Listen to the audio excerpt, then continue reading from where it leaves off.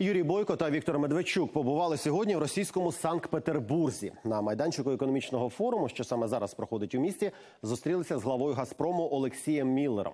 Тема переговорів постачання газу до України. Політики наголошують, прямий контракт може здешевити газ на чверть, а також стати основою для нової угоди про транзит територією України.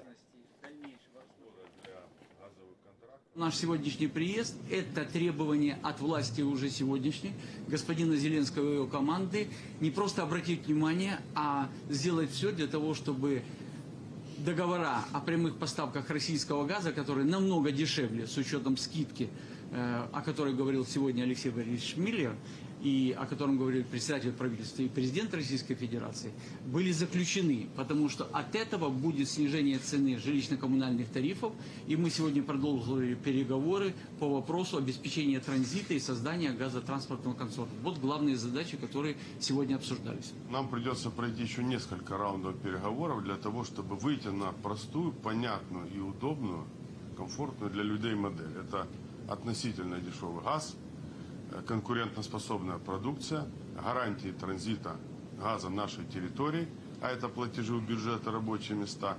Но очень хорошо то, что мы в процессе сегодняшней дискуссии мы продвинулись дальше. Мы понимаем, каким образом это разрешить, какие нужно пройти этапы, какие нужны решения от обоих сторон.